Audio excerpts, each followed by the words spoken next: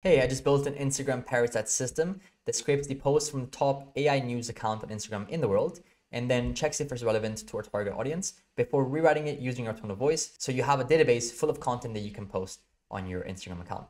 The only thing I have to do is press execute workflow. And this ideally would run every single week, let's say on a Monday at um, 6 a.m. And now it will use Apify to scrape the post of Instagram. So you can see here that the scraper is crawling, which means that it's scraping the different Instagram posts.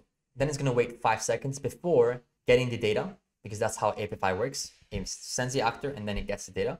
And then we send it to the first AI to classify the relevance. So whether it's actually relevant for our target audience. And then it filters based on the ones that are only relevant before adding it to Claude, which will rewrite the post before adding it to our Google Sheet database. Okay, now it's finished. It's going to add it all to our Google Sheet database. If we go here, we can now see that the post, the username, the date posted, the post URL, which we actually repurposed, the original post and the rewritten post that we have. Now, this is great for anybody who wants to post on Instagram and wants relevant, fresh AI news that come from the top AI account in the world in order to then repurpose and have in their own tone of voice for their target audience as well. So they save a ton of hours on content and they can now build a brand over time. Now I made a full video showing you step by step how I built this from scratch. If you want access to it, make sure to check out the first link down below.